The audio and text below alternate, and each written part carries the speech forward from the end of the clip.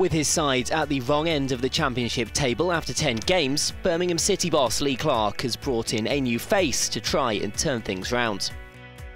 Former Senegal international Papa Bouba Diop has moved to St Andrews on a one-month contract, having been training with the club for the past few weeks.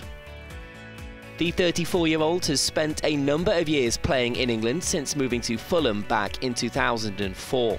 He made 84 appearances at Craven Cottage, where he played alongside the current Blues boss.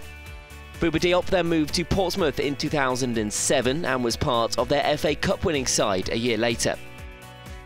A brief spell in Greece with AEK Athens followed before he moved back to England, spending last season helping West Ham United gain promotion to the Premier League. Birmingham started the season with similar ambitions, but after losing five of their first 10 games, they find themselves just one place outside the relegation zone. It means Clark is already under pressure to turn things round.